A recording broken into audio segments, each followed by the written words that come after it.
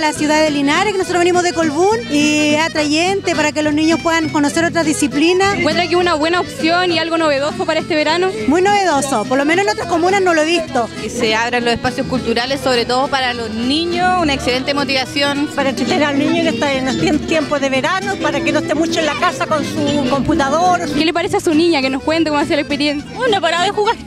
¿Qué más le ha llamado la atención a ustedes? La de Nenante. ¿Pero qué hicieron en Nenante? Estaban contando cuentos. Eh, cuando eh, en las cositas esas que tiene y hay que llevar la pelota a la luna. Son juegos tradicionales de Europa principalmente y la idea del juego es hacer llegar el último habitante de la Tierra, que está solo, aburrido, no tiene nada de comer, en su nave espacial hasta la Luna. Me gustó mucho porque es como de agilidad y de concentración. ¿Y cómo te fue en el juego? Bien, ya me he pasado eso como esos dos. Ah, entonces eres un experto para estos juegos de agilidad, ¿cierto? Sí.